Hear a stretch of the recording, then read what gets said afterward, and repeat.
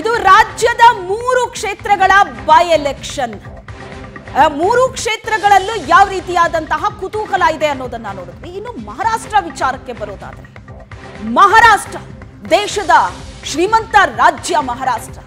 ಚುನಾವಣಾ ಫಲಿತಾಂಶಕ್ಕೆ ಇಲ್ಲಿ ಕೌಂಟ್ ಡೌನ್ ಶುರುವಾಗಿದೆ. ಮಹಾರಾಷ್ಟ್ರ ಚುನಾವಣೆಯ ಫಲಿತಾಂಶ, ಮಹಾರಾಷ್ಟ್ರದ ಜನ ಯಾರಿಗೆ ಜೈ ಅಂತಾರೆ ಅನ್ನೋದು ಇನ್ನೇನು ಕೆಲವೇ ಗಂಟೆಗಳಲ್ಲಿ ಫಲಿತಾಂಶ ಅಲ್ಲಿ ಶುರುವಾಗತ್ತೆ ಕೌಂಟ್ ಡೌನ್ ಶುರುವಾಗಿ ಮಹಾರಾಷ್ಟ್ರದ ಒಟ್ಟು ಇನ್ನೂರ ಎಂಬತ್ತೆಂಟು ಕ್ಷೇತ್ರ.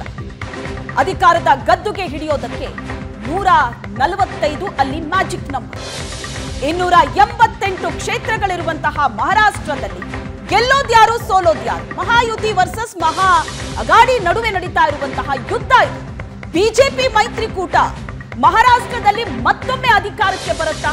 ಮರಾಠರ ನಾಡಲ್ಲಿ ಗೆಲ್ಲೋದ್ಯಾರು ಸೋಲೋದ್ಯಾರು, ಮಹಾಯುತಿ ವರ್ಸಸ್, ಮಹಾವಿಕಾಸ ಅಘಾಡಿ ನಡುವೆ ಬಹಳ ದೊಡ್ಡ ಕದನ ಇದೆ.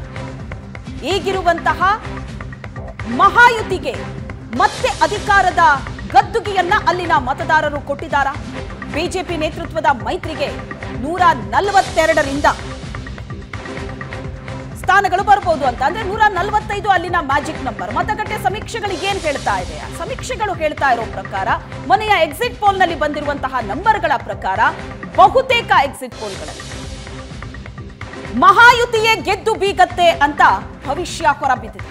ಆದ್ರೆ ಈ ಭವಿಷ್ಯ ನಿಜವಾಗತ್ತಾ? ಕಾದು ನೋಡಬೇಕು. ಬಿಜೆಪಿ ನೇತೃತ್ವದ ಮೈತ್ರಿಗೆ ನೂರ ನಲವತ್ತೆರಡರಿಂದ ನೂರ ಐವತ್ತೈದು ಸ್ಥಾನ ಅಂತ ಸಟ್ಟಾ ಬಜಾರ್ ಹೇಳ್ತಾ ಇದೆ. ಮಹಾ ಹೈ ವೋಲ್ಟೇಜ್ ಫಲಿತಾಂಶಕ್ಕೆ ಈಗ ಕ್ಷಣಗಣನೆ ಶುರುವಾಗಿದೆ. ನೂರ, ಇನ್ನೂರ ಎಂಬತ್ತೆಂಟು ಕ್ಷೇತ್ರದ ಮತಕೇಂದ್ರಗಳ ಸುತ್ತ ಹೈ ಅಲರ್ಟ್ ಜಾರಿಯಲ್ಲಿದೆ. ಹೈ ವೋಲ್ಟೇಜ್ ಫಲಿತಾಂಶಕ್ಕೆ ಕ್ಷಣಗಣನೆ ಶುರುವಾಗಿದೆ. ಇನ್ನೂರ ಎಂಬತ್ತೆಂಟು ಕ್ಷೇತ್ರದ ಮತಕೇಂದ್ರಗಳ ಸುತ್ತ ಭದ್ರತೆ ಇದೆ. ನೂರು ಮೀಟರ್ ಸುತ್ತಮುತ್ತ ಒನ್ ಫೋರ್ಟಿ ಫೋರ್ ಸೆಕ್ಷನ್ ಜಾರಿಯಾಗಿದೆ. ಮಹಾರಾಷ್ಟ್ರದಲ್ಲಿ ಇನ್ನೂರ ಎಂಬತ್ತೆಂಟು ಕ್ಷೇತ್ರಗಳಲ್ಲಿ ಏಕಕಾಲಕ್ಕೆ ಒಂದೇ ಹಂತದಲ್ಲಿ ನಡೆದಂತಹ ಮತದಾನ. ಇವತ್ತು ಫಲಿತಾಂಶ ಪ್ರಕಟ ಆಗತ್ತೆ, ಎಂಟು ಗಂಟೆಯಿಂದ ಮತ ಎಣಿಕೆ ಆರಂಭ ಆಗತ್ತೆ. ಮೊದಲು ಅಂಚೆ ಮತವನ್ನ ಎಣಿಕೆ ಮಾಡಲಿದ್ದಾರೆ ಸಿಬ್ಬಂದಿ. ಯಾವುದೇ ಅಹಿತಕರ ಘಟನೆ ಆಗಬಾರದು ಅಂತ ಸಾಕಷ್ಟು ಎಚ್ಚರಿಕೆಯನ್ನ ವಹಿಸಲಾಗಿದೆ. ಮರಾಠರ ನಾಡಲ್ಲಿ ಪಟ್ಟ ಯಾರಿಗೆ ಸಿಗತ್ತೆ? ಇದು ಬಹಳ ದೊಡ್ಡ ಕುತೂಹಲಕ್ಕೆ ಕಾರಣವಾಗಿರೋದು. ಬೆಳಿಗ್ಗೆ ಎಂಟು ಗಂಟೆಗೆ ಮತ ಎಣಿಕೆ ಆರಂಭ ಆಗುತ್ತೆ. ಮತಕೇಂದ್ರದ ನೂರು ಮೀಟರ್ ಸುತ್ತಮುತ್ತ ಒನ್ ಫೋರ್ಟಿ ಫೋರ್ ಸೆಕ್ಷನ್ ಜಾರಿಯಾಗಿದೆ. ಮಹಾರಾಷ್ಟ್ರದ ಇನ್ನೂರ ಎಂಬತ್ತೆಂಟು ಕ್ಷೇತ್ರದ ಮತಕೇಂದ್ರಗಳ ಸುತ್ತ ಭಾರಿ ಭದ್ರತೆಯನ್ನ ಹಾಕಲಾಗಿದೆ.